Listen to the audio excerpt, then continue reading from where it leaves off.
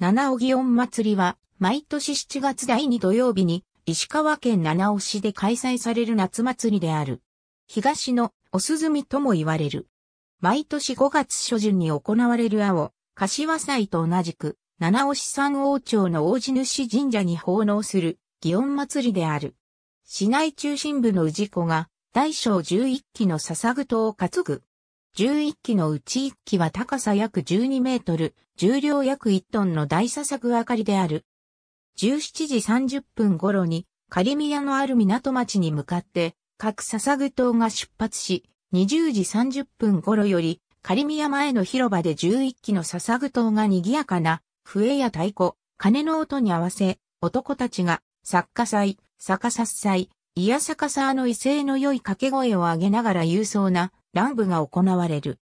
21時30分頃にカリビアでお祓いを受け、その後みこしと共に大地主神社に向かって出発、狭い路地を家のの木をかすめるように担ぎ回し、神社に到着した笹具島は23時30分頃より境内で再び勇壮な乱舞を行い、最後に七尾まだらを歌い、各町内にそれぞれ戻っていく。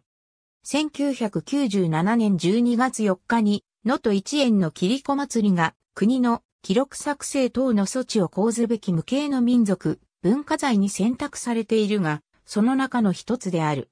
また2015年4月24日には、あかりまう半島のと熱狂の切子祭りの中の一つとして、日本遺産に認定された。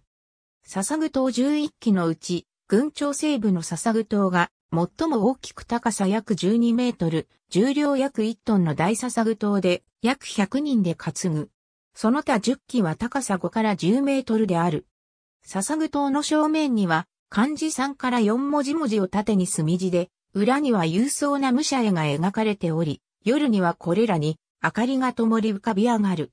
林方は太鼓、横笛、鐘を使用し、笹具島の根元にある台に乗り温度を取る。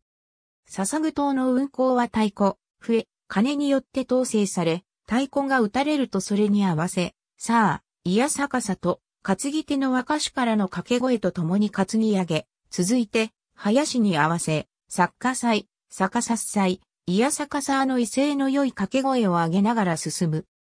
文字破天荒、チームカラー紫、文字総流学、チームカラー赤、文字軽運鏡、チームカラーピンク、文字比、彩り飛び、チームカラーキ、赤、文字随書学、チームカラーキ、黒、文字間無曲、チームカラー赤、文字ゴズ天皇、チームカラー赤、文字人儀礼、チームカラー赤、文字、チームカラー水色、文字、チームカラー黒、文字雲樹流、チームカラー青、石崎笹具搭載が行われる、石崎地区とは協力関係があり、それぞれの祭礼に担ぎ手の貸し借りを行っている。ありがとうございます。